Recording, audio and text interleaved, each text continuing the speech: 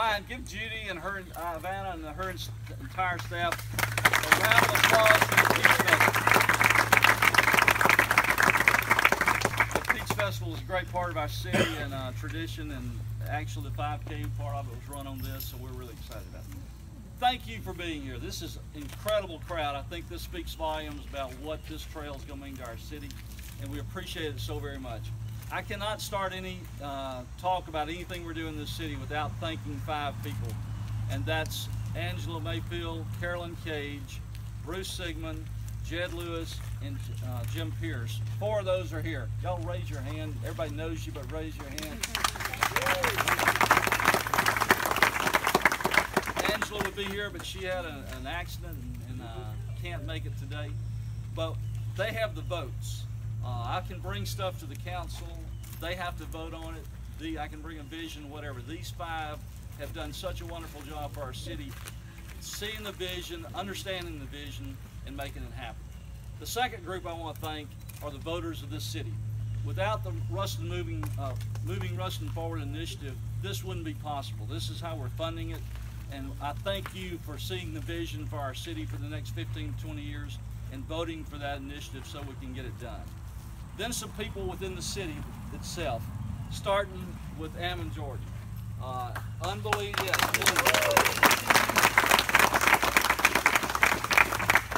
When I hired Ammon, the first thing I gave him was the Greenway, and he has run with it, and it's just, I mean, it speaks for itself. So Ammon, thank you, not only for your friendship, but what you're doing here in the city. But also Andrew Halbrook, where are you, Andrew? Right here, on the radio this morning. Andrew works in our, our uh, department and does a great job. And then John Freeman, I think, had to leave.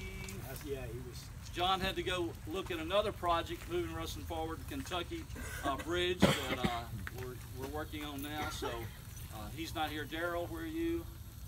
Right here, Daryl Caraway, our public works.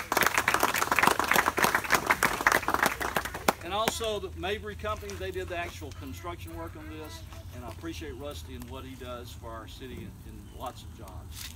Uh, this is a wonderful uh, addition to our city. I think it tells us what the city is going toward and shows people what we really believe in here. So now I'm gonna turn it over to Ammon, he can tell you even more about what's coming up after this one mile is uh, open. Ammon? Thanks, Mayor Walker. Uh, Mayor just stole my thunder. Really, I, I, could just say have fun and, and, uh, and you all would get the gist of what it, what it is that I'm about to say. Um, but first of all, I think it's important that we acknowledge W.A. Jones.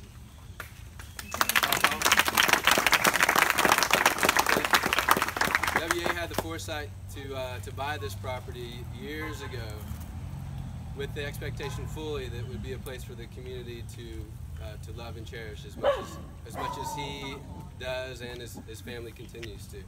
Um, also, we should acknowledge the, the Jones family. Bob Jones, unfortunately, is in Monroe this morning. He's not able to attend. Uh, sorry, the James.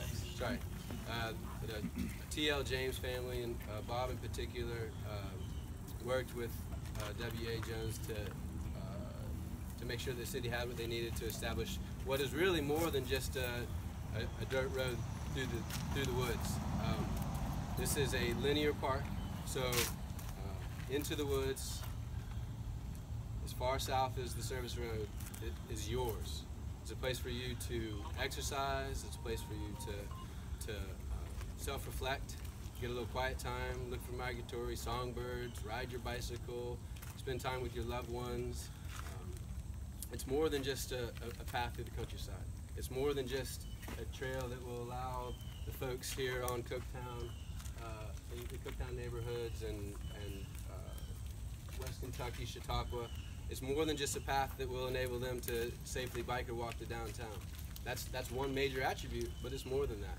This is a place where you all can learn to love and cherish the city, which is ultimately yours. Right? Everything that, that the mayor and I, Andrew, Daryl do is on your behalf, uh, at your bequest. This is something that you all have asked for and worked towards for a long time.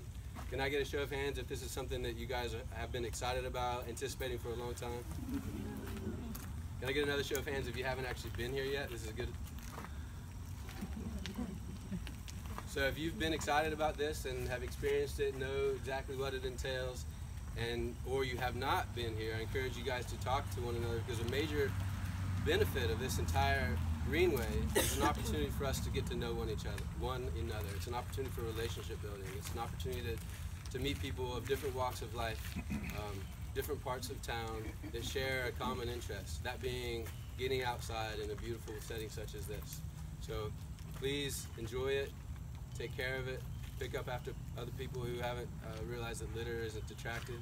Um, we're not going to put trash cans out here. Trash cans attract litter, unfortunately.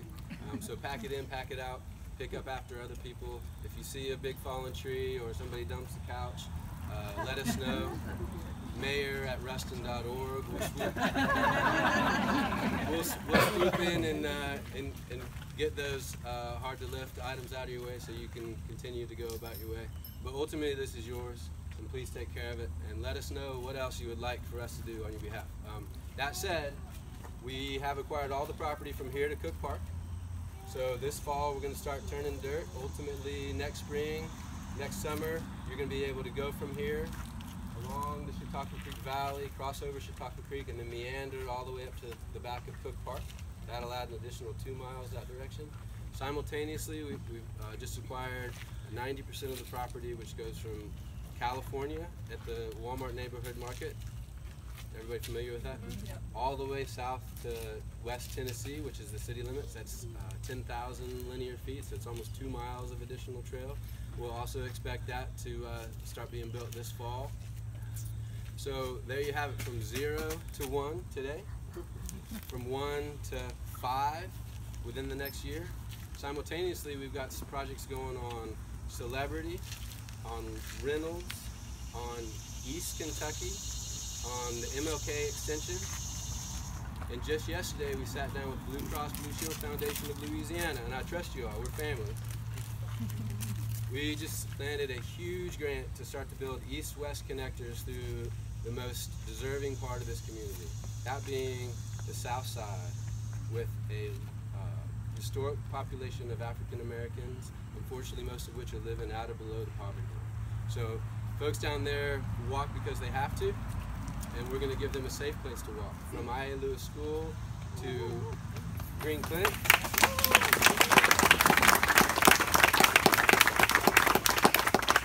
I.A. Lewis School to Green Clinic from uh, Line Avenue um, over near the Baptist Church all the way out to the new MLK extension. And then another project which I'm really excited about, slightly outside of that, uh, that specific neighborhood, will directly benefit the students for the Louisiana Center for the Blind. When Adrian and, and Ben have joined us this morning.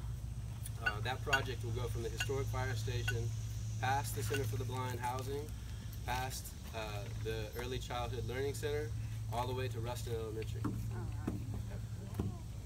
So as you can see, you all did a good job.